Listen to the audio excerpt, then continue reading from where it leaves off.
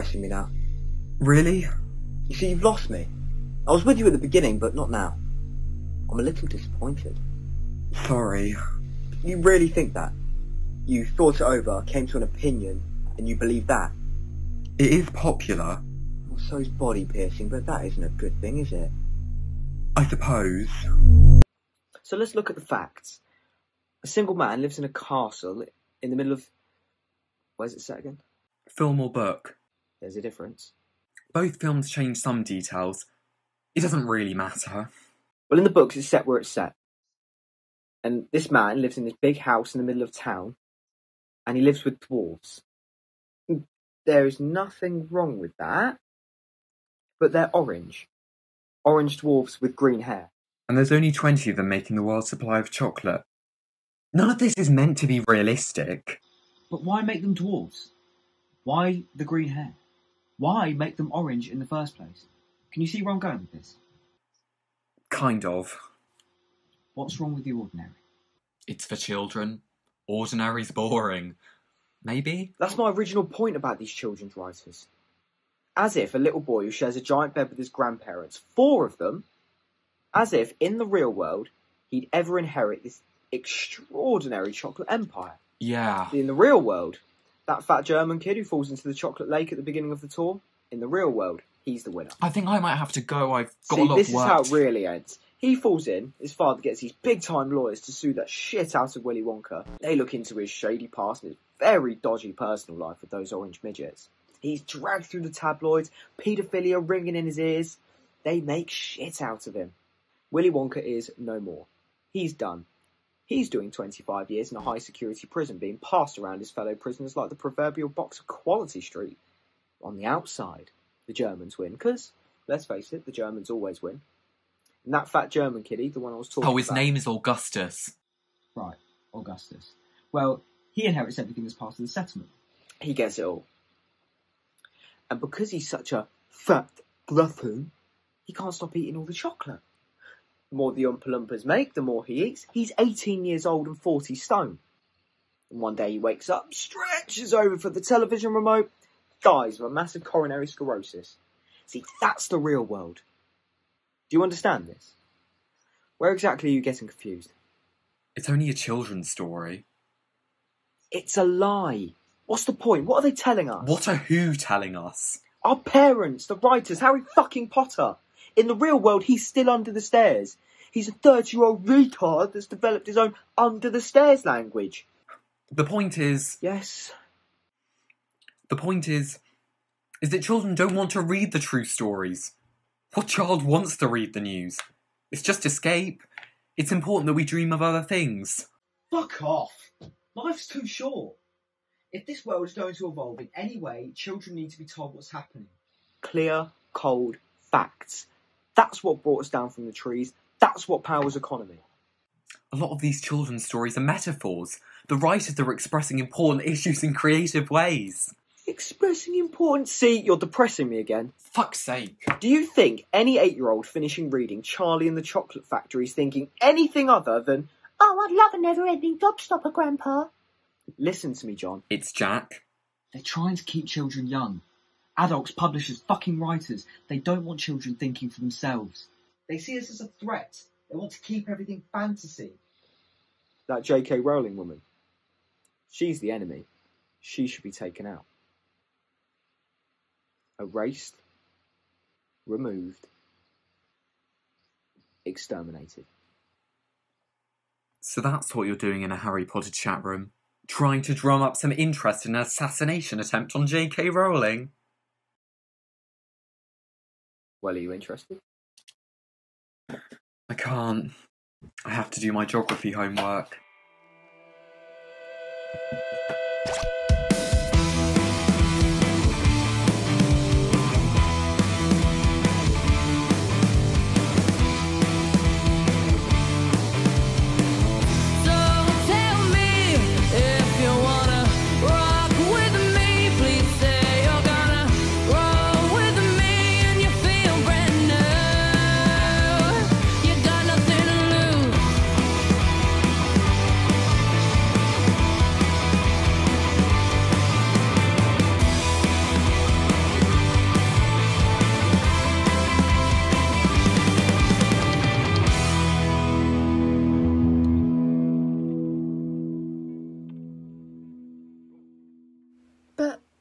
I was younger then, and she just came on the scene, remember?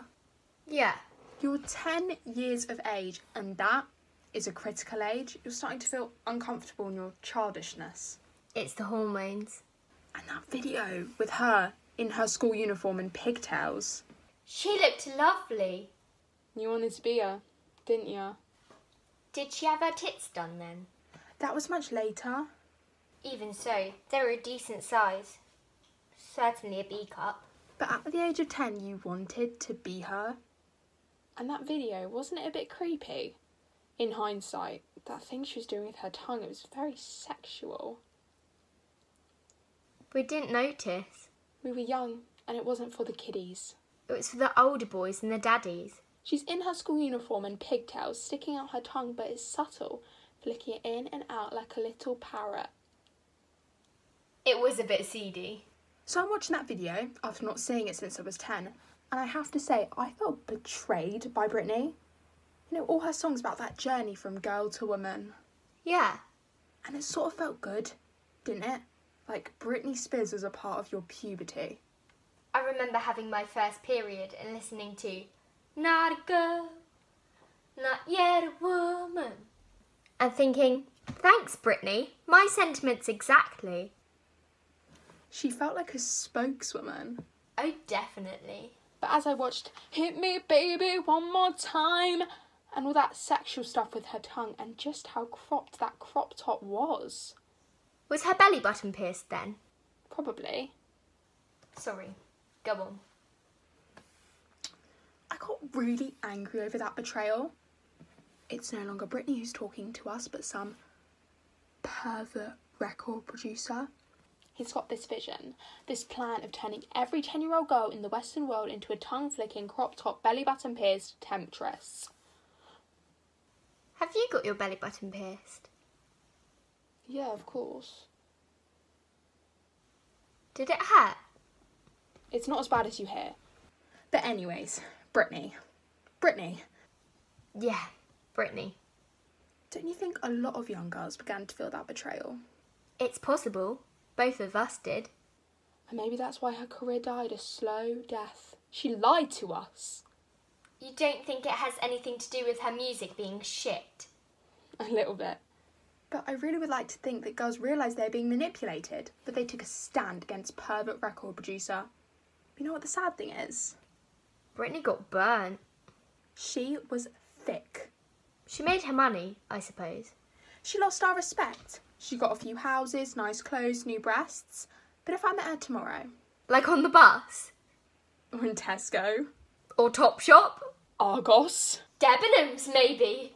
if I met Britney Spears tomorrow, I would gently pull her to one side, put my arms around her shoulders like I'm going to hug her, move my face towards her like I'm going to kiss her, and whisper in her ear, Britney Spears, you sold my childhood soul. Ooh, that's cruel. You sold my childhood soul? And then I'd smash her in the face.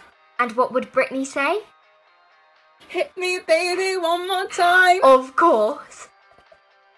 Her day of judgment will come when some teenage girl stops her outside Prada and says, You sold my childhood soul, bitch.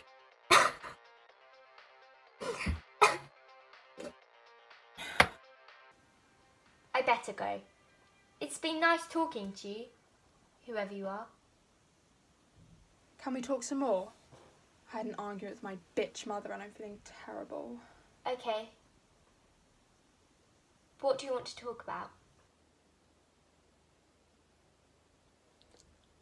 Murder.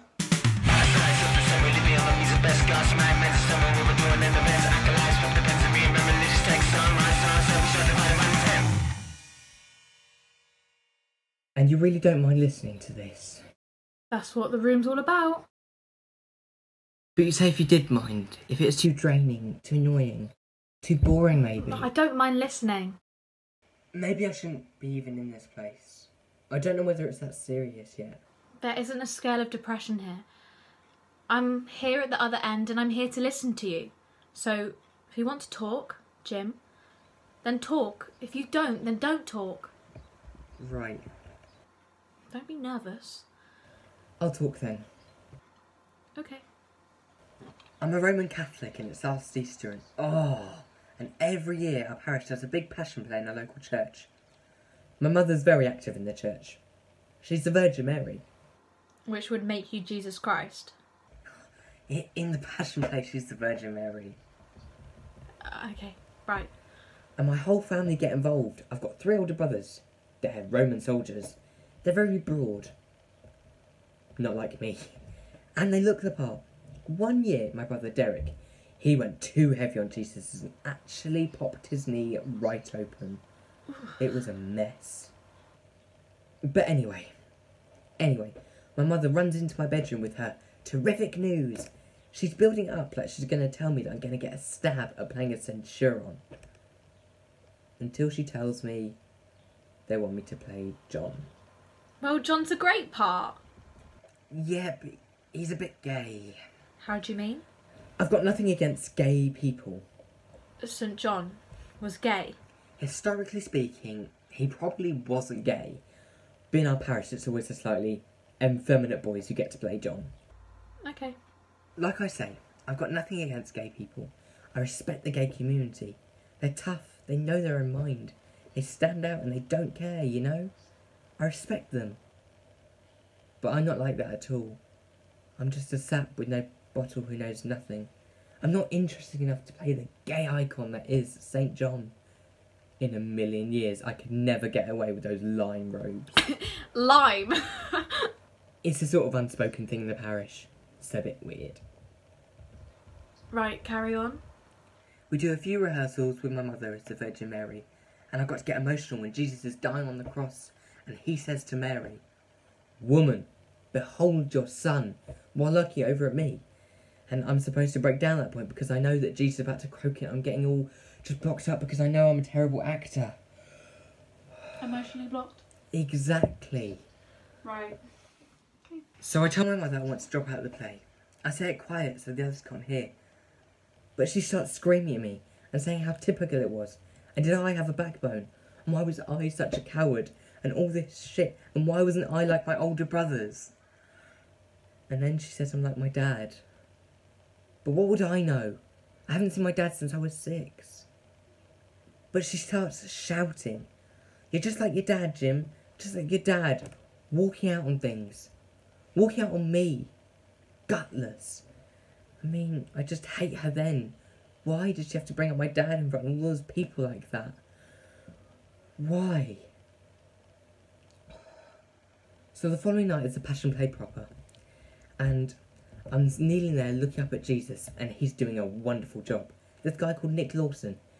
He's into amateur dramatics in a big way. I actually saw him in a production of Babes in the Woods, playing uh, the Widow Twankey. I swear to God, he was hilarious. But as Jesus Christ, he was even better. Obviously, not in a hilarious way, but Yeah, I understand. right. So Nick's line to me, and my mother is coming up. I'm still really furious with her from the night before. Woman, behold your son, cries Nick. At the start, I don't know whether it was his great delivery or just thinking about my mother being my mother. But I started to cry. I'm crying really hard. People are thinking that this is wonderful. I completely upstage Nick's crucifixion, and the night's suddenly all about St. John and whether he's going to be alright, whether he'll have the strength to carry on and finish his gospel. But anyway, oh, anyway, afterwards, and my mother is having a lemonade in the sacristy, and I'm out in my lime robes looking over at her, and I realise why was I crying back then? I was crying because I know my mother doesn't like me. If I really remind her of the man she hates, the man who left us when I was six, then maybe I should walk away too. But where to? Where do I go to? The rule in the room is that we don't give advice, we just listen. Okay.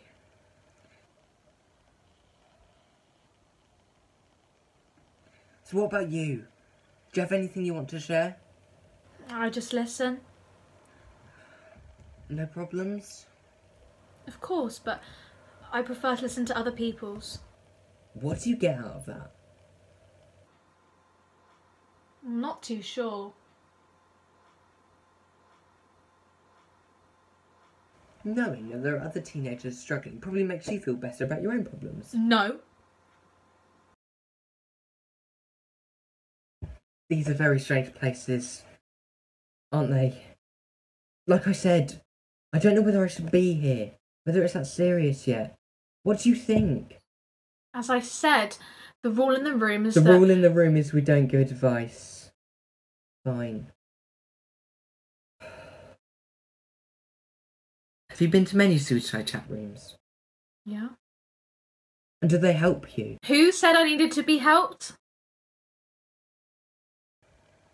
Can I know your real name?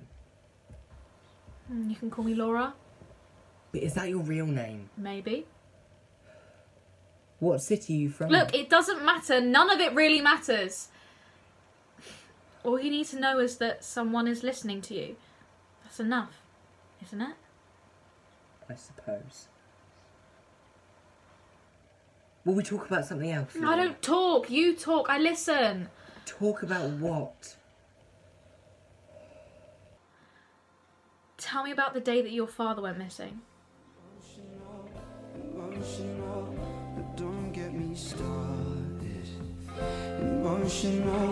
Emotional, emotional.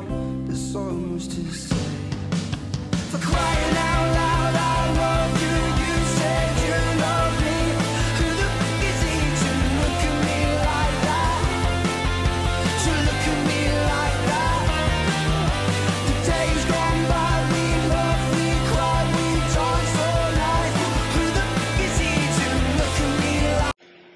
We need to set rules. Why? We don't use our real names, we don't say what schools we're from. It's enough to know we're all from the same area.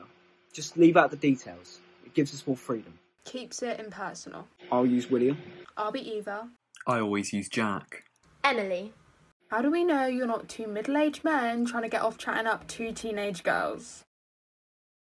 How do we know you're not two desperate housewives trying to take advantage of two innocent altar boys? Are you altar boys? Are you desperate housewives?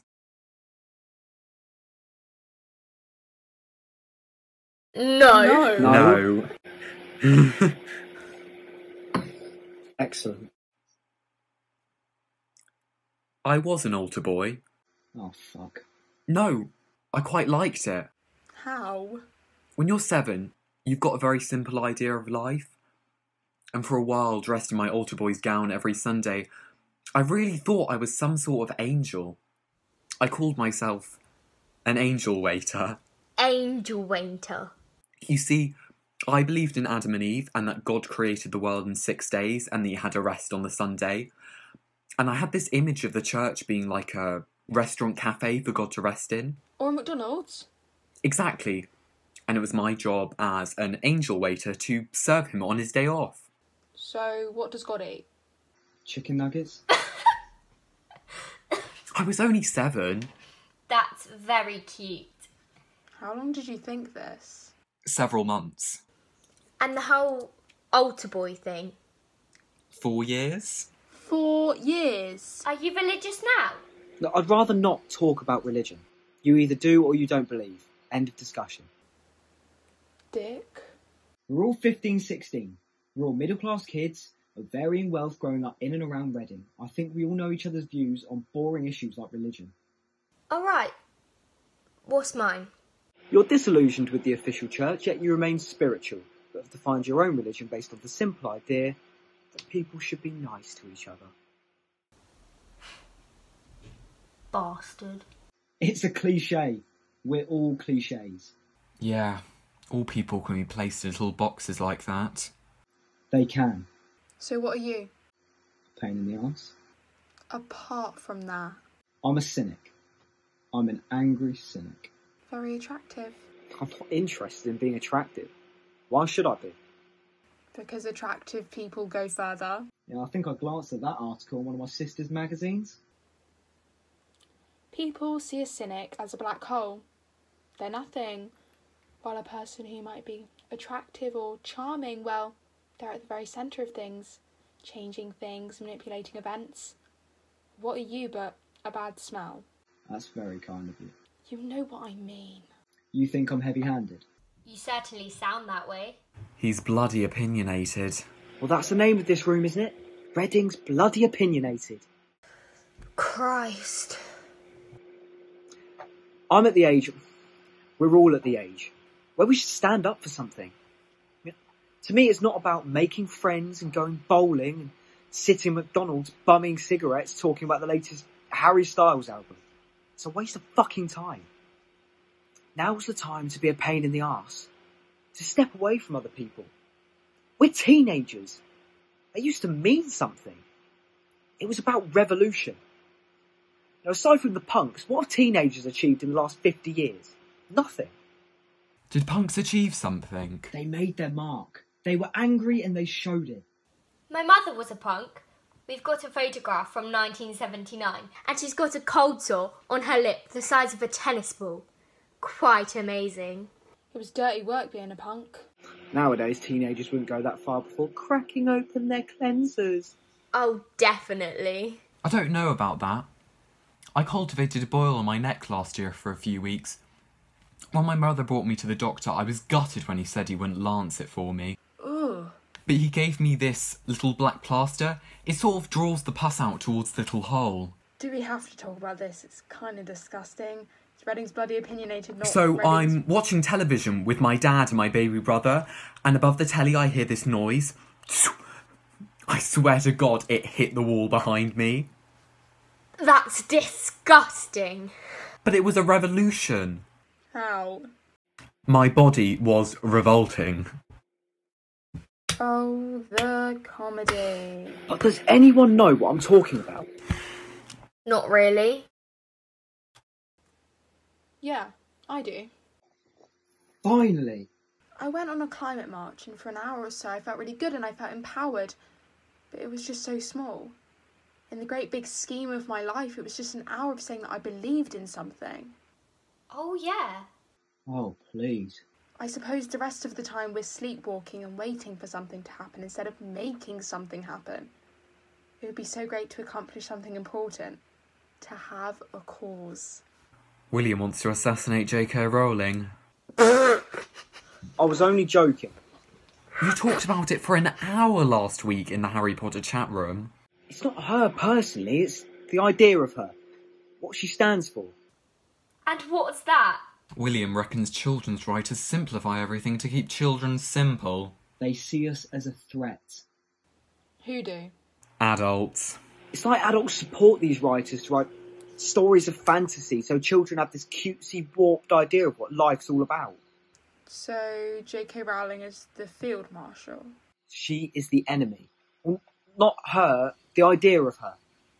If I could kill the idea of her without her getting hurt, I'd do it tomorrow. Are you actually a lunatic? I just want to do something important. It's frustrating. Would you ever kill anything, William? No. Any idiot can kill something. Where's the glory in that? Aren't you meant to say that each life is sacred? Exactly. That's crap. There are some people, and life is just wasted on them. Dictators, terrorists, racists. PE teachers. They don't do anything. They suck all the goodness out of living. Like William. Shut up.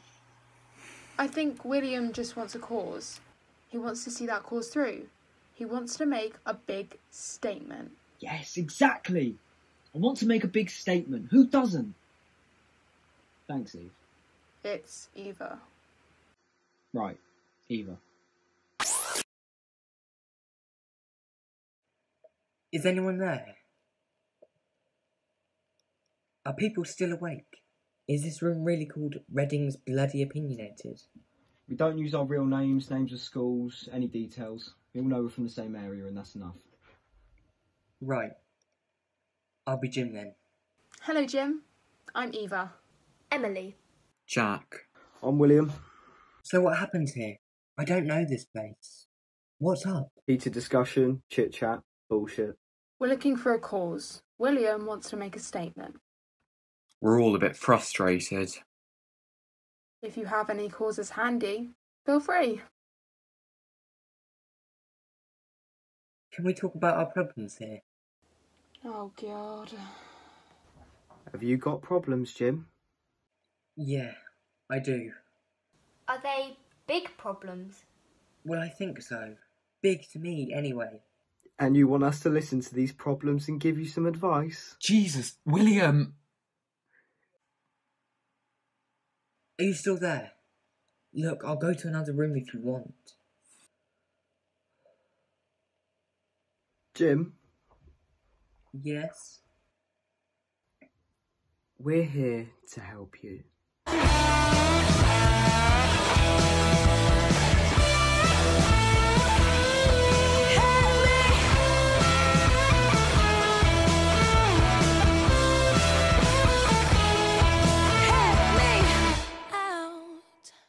So I've been bullied all the way through primary and now in secondary school. I'm very skinny and a bit funny looking, so it goes with the territory. You expect it. But I have bigger worries, deeper worries that I can't really explain. And that's tricky. And very recently I've started to feel what's the point? What's the point in everything? But not in a moany teenagey way. Your depression isn't pretension. How do you mean? You're genuinely depressed. 100% genuine. I'm not one of these people who keeps an altar Kurt Cobain or anything like that. I actually can't stand Nirvana. I don't need their music to feed my depression. I can happily do it all by myself. Obviously not happily. Yeah. Yeah. Happily is the wrong word. But you know what I mean. What does depression feel like? It feels great. What do you think? No, I know it's crap. I just want to know what it feels like to Jim.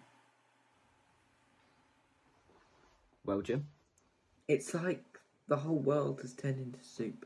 Everything has a consistency of soup, and your insides and your heart, they just sort of ache. And it's like you're clogged up with about five sliced loaves of bread. It's exactly like that. Wow.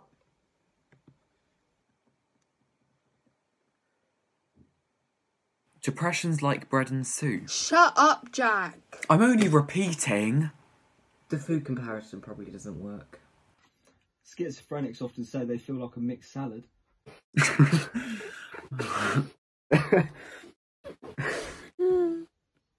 You seem nice. Do you have a girlfriend? oh, wait a second. We're here to give Jim some advice. I just wondered because he doesn't have anyone in his family he can talk to. Maybe an understanding girlfriend would help him open up. And Oh, Jesus, Emily. If you've been listening to Jim for the last hour, you wouldn't ask that. He doesn't have our normal teenagey problems. It's not a problem that can be solved by a quick feel outside the chip shop. He's different. Of course he'd love a girlfriend, but that can't happen because he's dealing with getting up every morning and facing another one of his shitty days. I'm not that bad. I just. Maybe mm. think before you speak, Emily. piss off! No, it's just bullshit. I expected more from you. You didn't strike me as some head in the sand princess. I'm not like that. Selfish cow. Jesus, all I said was, do you have a girlfriend? Jim has the courage to come into this room and open up and tell us all this pathetic crap, and all you're asked to do is imagine that others can be different from you. You have no idea what I'm like. Well, by a comment like that, like Jim could be cured by the heart of a good girl. I didn't mean it like that. Sorry about this, Jim. No, really, it's fine. I, I just think she's being. I think nice. we've all got a good impression of the type of girl you are, Emily. Fuck off. Living in a little suburban bubble, small group of girlfriends who hang out after music lessons, sniggering over some boy's Instagram. They're all called Sarah, right? Sarah Jane, Sarah Marie, Sarah Louise, Sarah Ann. The hairband brigade in your deck shoes and lacrosse shirts. What's the worst that's happened to you? Oh, come on, guys. Scuffed your ripped jeans in the park. That night Daddy couldn't pick you up from Pizza Hut, so you had to get the bus home. Or maybe when your pony had to be put down because your big, fat, preppy ass was buckling its back. Oh, Shut up, Jack. I had anorexia, you know. So what? Weekend anorexia, was it? Bursting out of those ripped jeans, had to shift a few pounds. What? Anorexia's a status symbol for your type of girl. You wear your six months anorexia like a badge of honour. You think it gives you an edge. It makes you a stereotype. And that's why when someone talks to you about their depression, you bat it aside with that shit about if only you had a girlfriend, you'd be feeling a lot better. Christ! If we let you drone on, you'd be singing Cheer Up, Charlie. Willy Wonka's Chocolate Factory. I hate that fucking film. Get out of here, Emily. We want people who are here for Jim. I'm here for Jim. Someone who understands his problems, who gets the cause. What cause? What? So Jim is your cause now? We're here 100% 24 hour call. Jim's feeling cut up over something, and we're here to listen and advise him. Understood? That's right. Don't need any chaff. Jim doesn't need some ex anorexic pony rider whining little Katie Hopkins sound bites. Put simply, Piss off. Is she gone? Hardly matters. I thought we were supposed to be friends. Silly cow. Maybe she didn't mean what you think. There's no need to defend her, Jim. She's not needed. Anorexia is terrible. You shouldn't have said those things. Forget about her. She's Debris. We're here for Jim. What about you, Jack? Yeah, I suppose. Wonderful vote of confidence there. Maybe a bit more conviction, funny man? Well, no offence, Jim. Well, your age? Shouldn't you be taking advice from a doctor, maybe? Christ, Jack! That's so fucking cruel! Don't you get it? He doesn't have anyone. We're it. Look, all I'm saying is that maybe he should. Jack! Can we step into the Kardashian chat room? I want to talk to you in private. Okay. That was all a bit weird. Well, you don't have to worry about that now. Okay then. So, tell me about the day your father went missing. Well, it's quite important. Shouldn't I wait for the two boys to come back first? I'll get them my notes. Alright then. Right. Well, I'm six years old and my three brothers are going away for the weekend. A treat or something or other. My dad's staying behind and my mother says that he's got to look after me. He Said it would be a chance for us to bond. So they're gone. And me and dad are looking at each other at the kitchen table for the first time, you know? He asks me what I want to do. And straight away, I want to go and see the penguins in the zoo. When I was six, I I was going through some mad penguin obsession. I used to dress up as a penguin at dinner times and always ask for fish fingers. Stuff like that. If it wasn't penguins, it was cowboys. Cowboys were cool. A penguin costumed as a cowboy was always a step too far, funnily enough. Oh, God. So we go to the zoo and I wear my cowboy outfit, get my gun and my holster, my hat, and all that. We get the bus, and it's sort of funny to see my dad on a bus and away from the house. We start to have this chat about when I was born and what a really fat baby I was. But how after a week or so, I stopped eating any food, and everyone was really worried that he was very worried that he was so happy when I got better and they could take me home. We're in the zoo, and I go straight to the penguins, standing in my cowboy gear, looking at the penguins, having such a great chat to my dad on the bus. It was a perfect childhood day. Uh huh. He lets go of my hand and says he'll be back with my choc ice. And he goes. He- He's gone. And I'm happy looking at the penguins, but it's an hour since he left, and I go to look for him. I'm walking about the zoo, and I'm not worried yet. I don't talk to anyone. I, I leave the zoo, and I go to the bus stop we got off at earlier.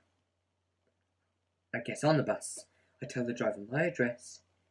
He asks where my parents are, and I say they're at home waiting for me. I stay in the bus seat nearest the driver. After a while, we end up at the end of our street, and the driver says, So long, cowboy. He was nice.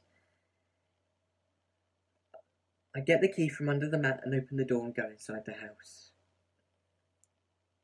And I'm alone there. I take off my cowboy clothes and hang up my hat and my holster. It being Saturday night, I have a bath and get into my pyjamas because my dad would have liked that. I have a glass of milk and some biscuits and watch Saturday Night Takeaway because that was his favourite programme on the telly. It's getting dark outside, and I start to worry. This house is feeling too big, so I get my quilt and I take it into the bathroom and lock the bathroom door. And it feels safe with the door locked, so I, I stay in there.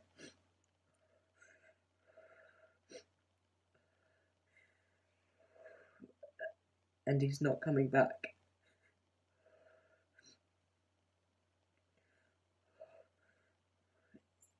He, he, he's never coming back.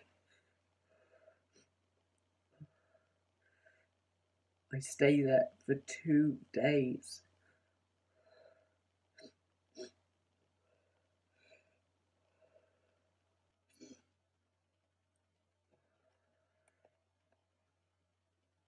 It'll be a laugh. Right now, we're all he has. We're there for him 24 7. It'll be a blast. Eva gets it, why can't you? He's our cause. Let him talk a bit. Mess him up. See how far he'll go.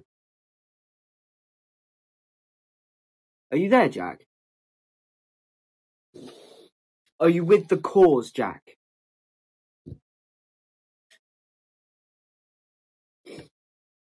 Oh, Jack!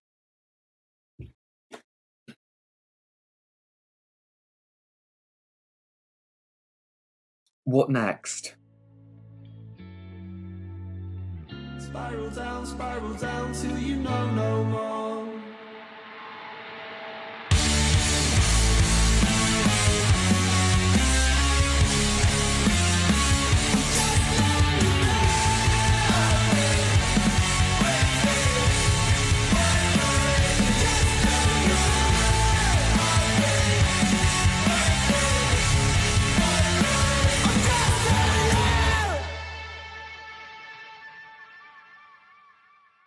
A lower middle class family with your mother having notions above her status.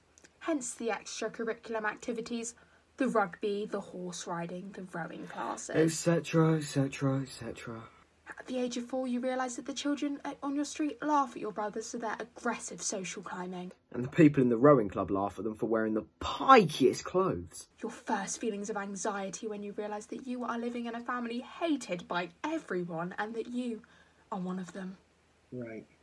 You decide to stay indoors, but being the youngest brother to brothers made on the rugby field, they adopt you as their plaything and later their punch bag. At the age of five, you go back outside to play with the other children. Only to see that the bonds of friendship have already been formed. And there is little room for a small, tubby, ugly toddler with an unhealthy obsession for penguins.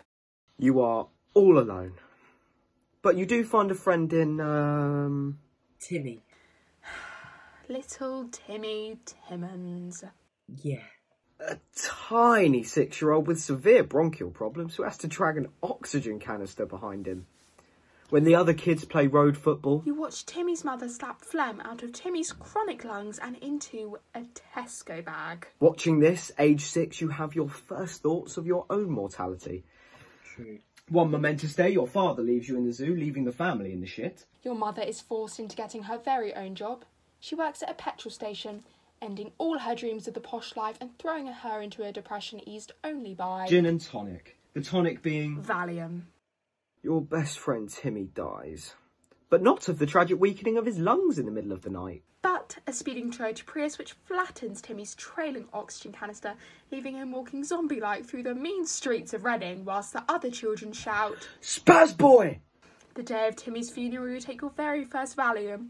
You are aged eight. Eight and a half.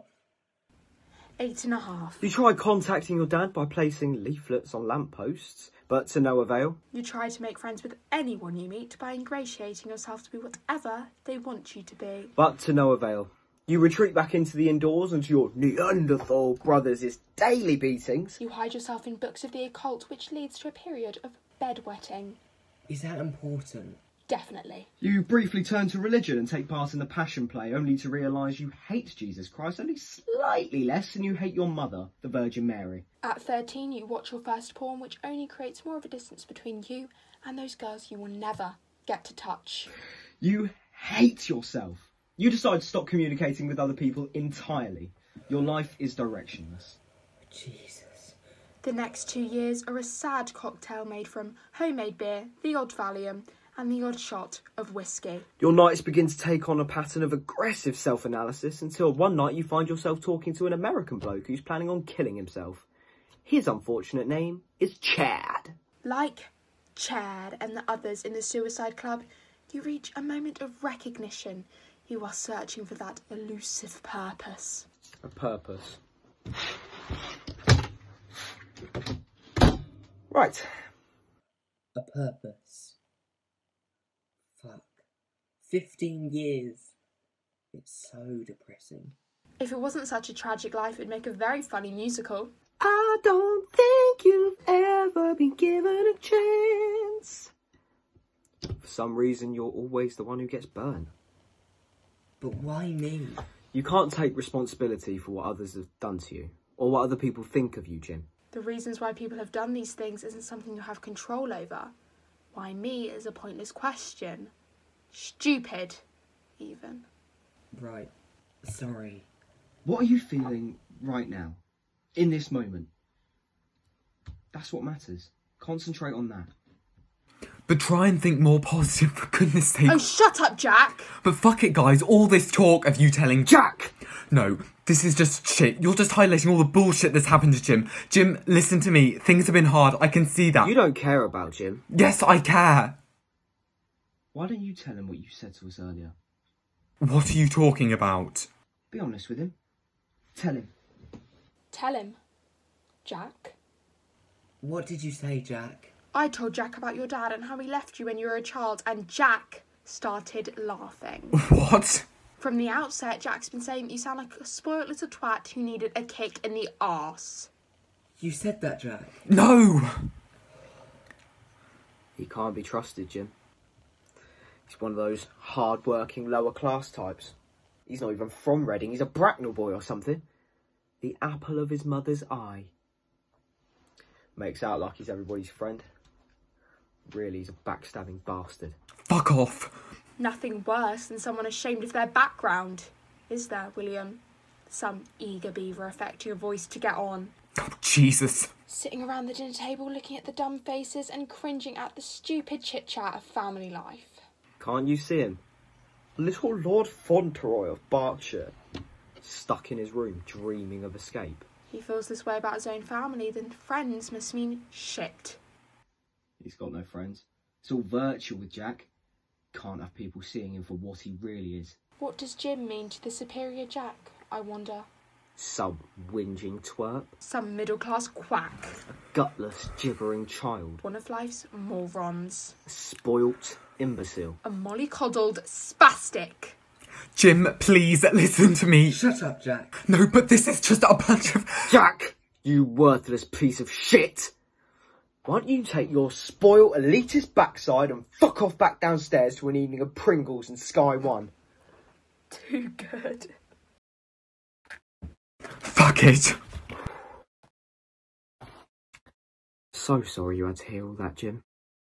And you seem like such a good person. I know. And you think you know someone? Continue then, William. Jim, I'm listening.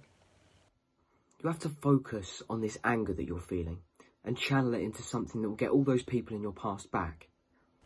How do you mean? How do you think you could hurt your mother after all those years of neglect? All those years she treated you like you were nothing. Well, I've been fighting her for so long now, and I just think, But she doesn't listen to you, does she? no, She doesn't. And it doesn't make me feel any better. So, I've been thinking if she came into my room in the morning if I'd done something. Like, maybe I've cut my wrists or taken pills or something. I can imagine her face. bitch. She'd be crushed. The guilt would kill her. Yeah, I suppose it would. But I don't know if I'm ready to do that.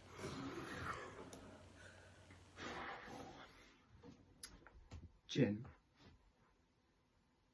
Yes. me and Eva can't imagine what your life has really been like. It just seems so, so sad. And without hope, probably. But we've been giving up our time and listening to you over these last few nights, haven't we? Yeah. And thanks, lads. Really. I just want you to do one thing for me. Yeah, sure, William. Whatever it is. I want you to ask yourself two questions before you go to sleep tonight. Do you have a pen and paper so you can write these questions down? Um. Yeah. Go on. Why is it people treat me like I'm nothing? Why is it people treat me like I'm nothing? If no one cares about my life, why should I care? If no one cares about my life, why should I care?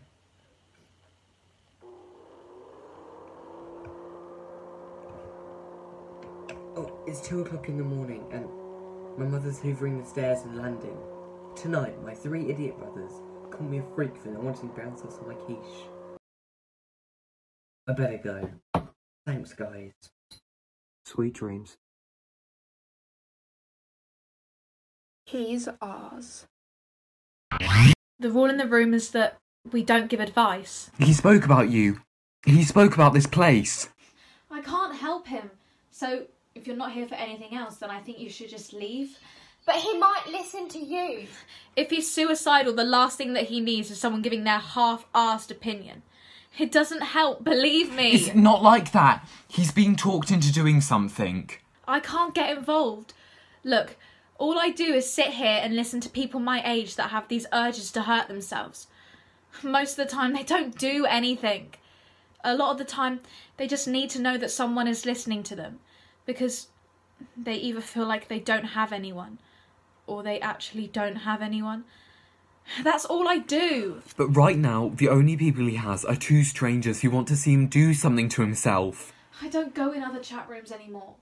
There's too much shit that goes on. People get hurt. Exactly.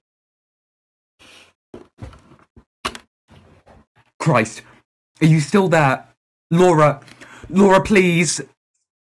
If you want to pass my email on to him, it's Oh, Laura. for 15%. fuck's sake, you don't have to talk if you don't want to. Just come and you'll see. If it gets too much, you can always get out. We'll be right there with you. But who are you? How do I know I can trust you? I started a mathematics club in school called the Brainiacs. I've never so much looked at a boy. There's nothing I'd like more than to get out of this hideous body, to forget the difference between common and natural logarithms, Emily, to be able to surprise myself. Last night, I had a dream, and I swear to God I think I had my first orgasm. Today, in looking back over the details of the dream, all I can remember is Stephen Hawking asking me to change his batteries. Believe me, Laura, you can trust me.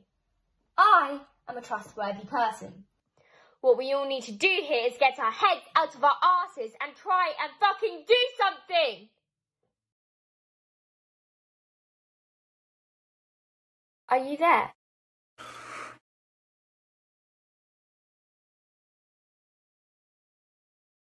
As little babies, you can't do any wrong, can you, William? You're bloody perfect. All you do is eat, shit, laugh, cry, sleep. Don't sleep. But you're loved.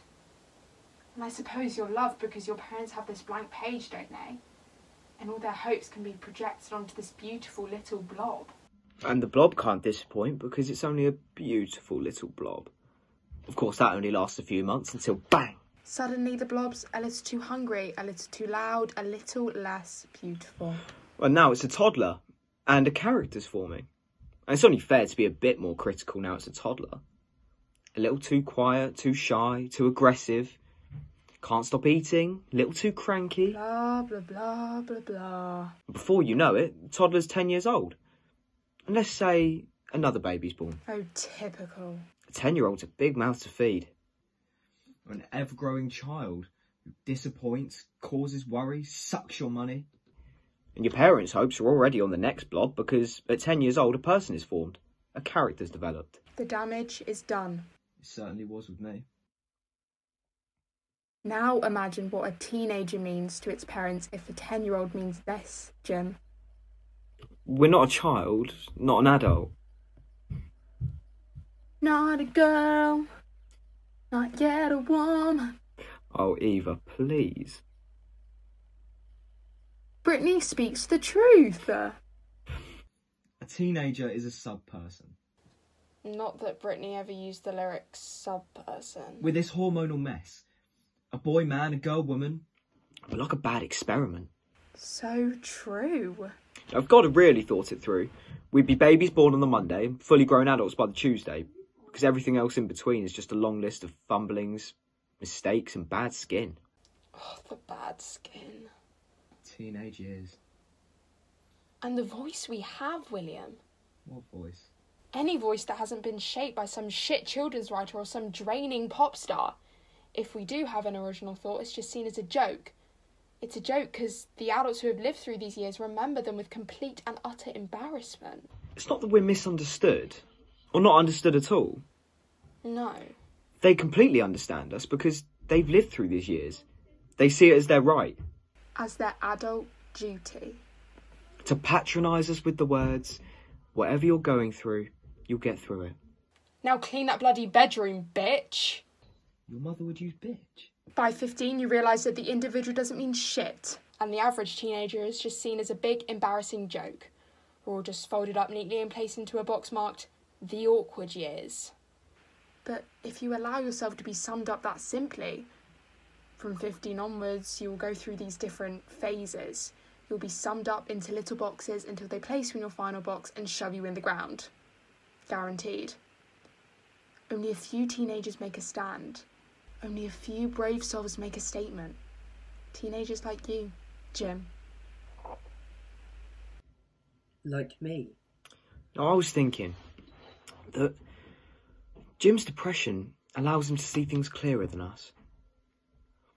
He's been neglected by his family and friends, so that maybe that isolation perfectly represents the average teenager's plight. It's like he's expressing important issues in creative ways. It's a poetry. It's a metaphor, Eva. It's quite brilliant. Well, But you know, Jim, maybe the more public you made it, the more of a statement you'd be making. one excellent idea. How do you mean? Think of all those forgotten teenagers you'd be speaking for if you killed yourself publicly. You'd be a hero, a legend. Very brave. Very romantic. Sexy, even. Do it in public. I'm not too sure about that. Maybe show it over the internet then. Would it be easier in your bedroom? Yeah, I suppose. It sort of seems right that he remains alone, that people see him die like that. Well, it's stronger, isn't it? Definitely. Well, I'm usually alone anyway, so. And for the past few weeks, I don't like being out in public places so much. Seems easier if I do it here. Can you get a webcam to live stream it? My brother Jonathan has one. Perfect. Of course, he'd kill me if he found me using it. Well, we wouldn't want that to happen, would we? It sort of steals your thunder. Yeah.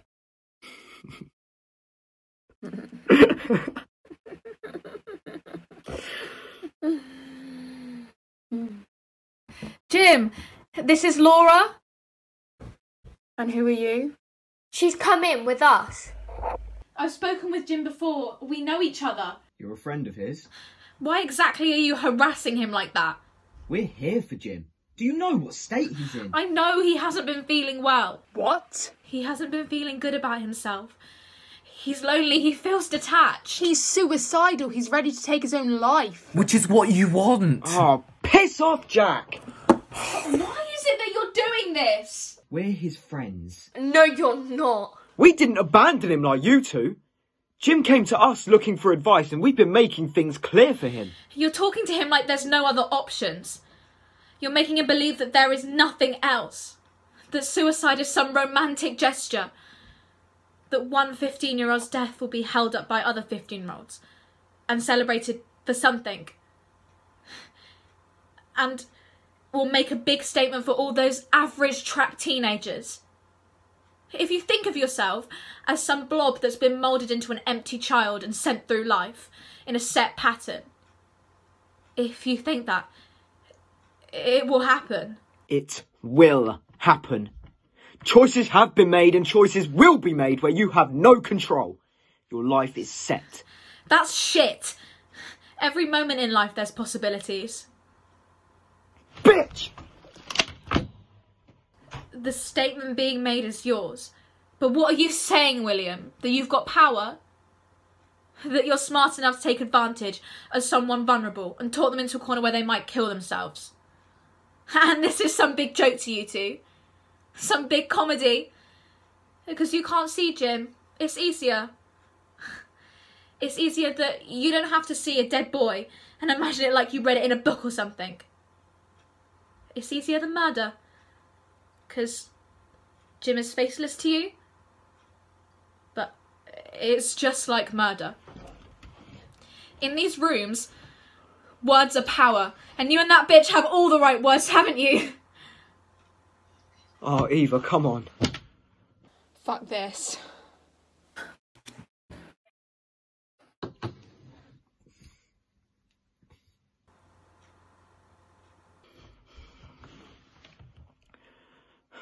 You've tried to kill yourself but chickened out, haven't you? You think I'm going to let Jim be lectured by some whinging coward like you? Some new age happy clappy princess? Jim has real problems. This isn't some competition about who's the most sad here. And if you need to know, you dick, I have tried to kill myself. I did slit my wrists. It did come from a very real place. But I'm happy that I'm alive. And some days are better than others. And the future, it scares me. But I'm ready for the struggle. I like the struggle. I like it a lot more than being stuck in the ground, watching over my friends and family who I've ripped apart. Just stay alive and they can help me. There's always a life. You're one of them sad girls who hangs around in suicide chat rooms. Who just sits there like a black hole, all dumb and silent, soaking up the sad stories, wallowing in other people's pain. What statement are you making, bitch? You talk about a life of possibilities, choice, love, happiness, but I bet you love nothing more than a world full of sad, morose 15 year olds draining on about their pathetic lives. Why not support those who want to kill themselves? Why not allow them to do it? Because they're the front line, aren't they? The public face of our gloom. Printed in the papers, shown on the telly. They need our support to do the brave thing. Do the decent thing. To get rid of the chaff and become a true revolutionary teenager. So do the decent thing, you worthless cow. Next time, don't cry out to mummy and daddy. Just do it. Stop. I'm 15 and my life is mine to do with it as I please. Five of us are from the same area. Tomorrow at one o'clock, I want you to be there at McDonald's at the Oracle. I want you to be there because I can't be in my bedroom anymore. Maybe I'll do it quietly, but I want you to see me do it. Jim, I'm still here if you want to talk. You know, I don't think I can listen to any more talking. Let's finish this.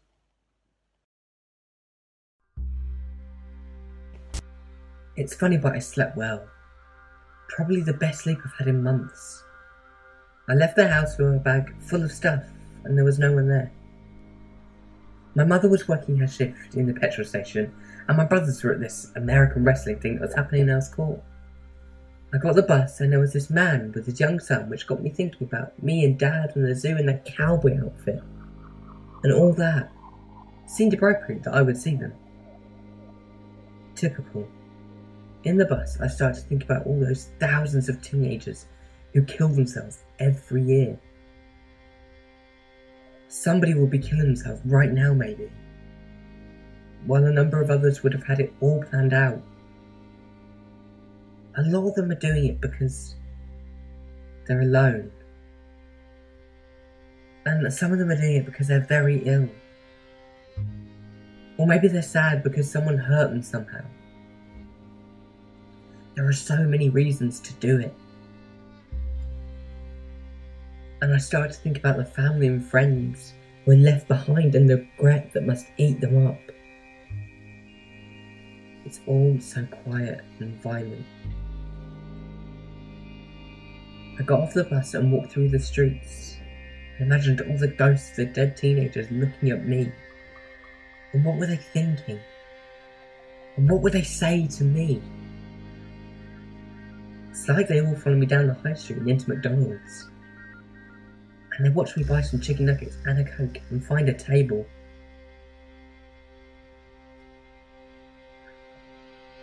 And the angels see me taking out my camera.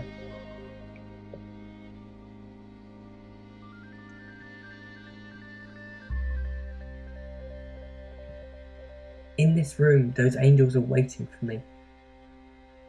I don't see myself as anything other than me.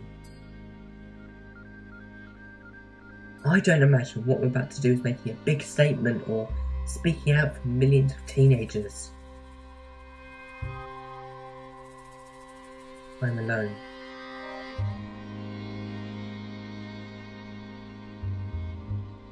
I give the camera to this 10 year old boy to hold. I tell him to point it at me and the table.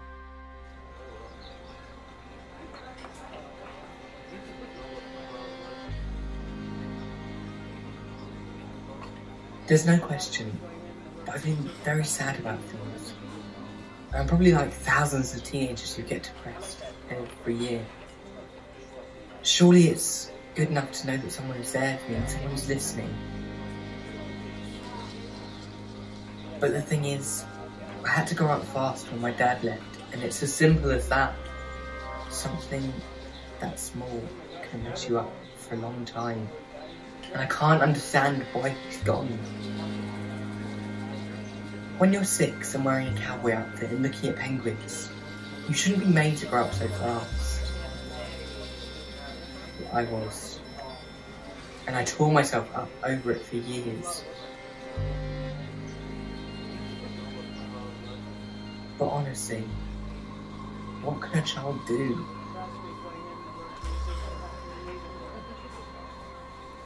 And just want my childhood back.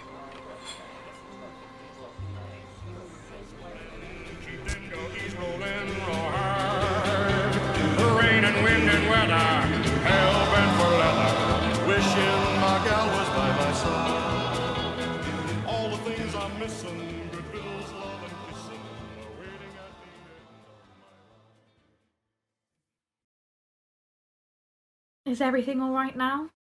Yeah. You? Yeah. Thanks for sending the video, Jim. It was good. It helped. Good.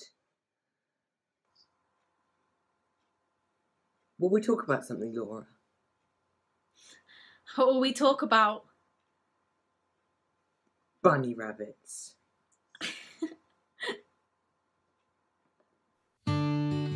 So we're out in the field. I don't know if it's real, but I can see quite clear now. So back for our meal, just as home as I feel. No time to be late into the hay.